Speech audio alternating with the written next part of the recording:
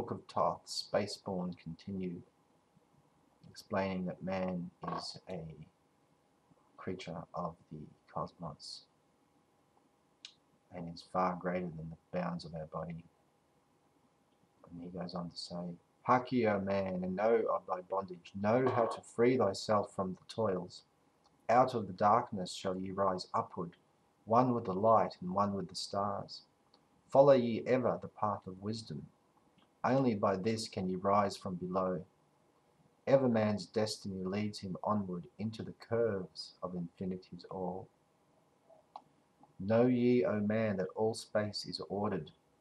Only by order are ye one with all. Order and balance are the law of the cosmos.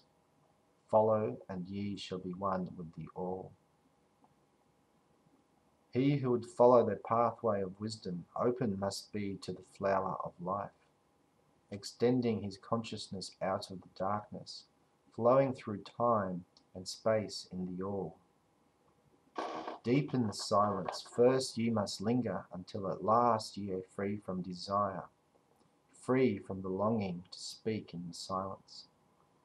Conquer by silence the bondage of words, abstaining from eating until you have conquered desire for food. That is bondage of soul. Desire, earthly things seem to make our soul sticky to the body or magnetic or something of that type.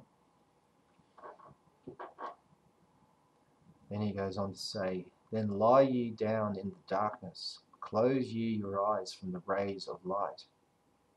It's interesting to note that when we do close our eyes and the rays of light disappear, that the DMT molecule is released within our brain, as we do in a dream state and something very interesting happens. It appears that the third eye, which is a type of optical lens, seems to open. And um, I'll cover this in some other chapter, but I'll go on to say, he says, Center thy soul force in the place of thine consciousness, shaking it free from the bonds of the night. Place in thy mind place the image thy desireth. Picture the place thy desireth to see Vibrate back and forth with thy power. Loosen thy soul from out of its night. Fiercely must thou shake with all thy power until at last thy soul shall be free. It seems to be a type of astral travel or a remote viewing of something to do with this, where um, vibrate back and forth with thy power, loosen the soul from out of its night. Fiercely must thou shake with all thy power until at last thy soul shall be free.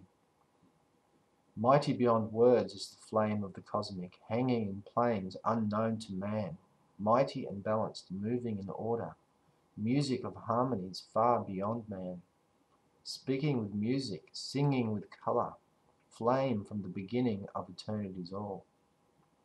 Spark of the flame art thou, O my children, burning with colour and living with music. List to the voice, and thou shalt be free. Consciousness free is fused with the cosmic, one with the order and the law of the all.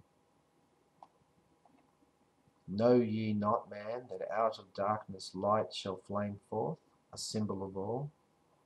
Pray ye this prayer for attaining of wisdom, for the coming of light to the all. And the prayer says, Mighty Spirit of light that shines through the cosmos, Draw my flame closer in harmony to thee. Lift up my fire from out of the darkness, magnet of fire that is one of the all. Lift up my soul, thy mighty and potent. Child of the light, turn not away.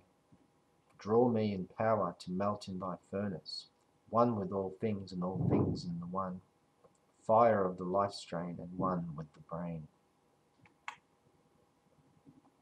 When ye have freed thy soul from its bondage, know that for ye the darkness is gone.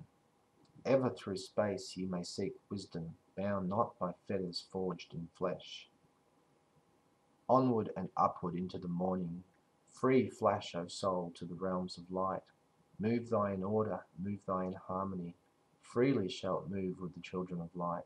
Seek ye and know ye my key of wisdom. Thus, O man, you shall surely be free. that's the end of the, Spaceborne chapter. The next one is chapter 5, the Emerald Tablet 5, The Dweller of Unu.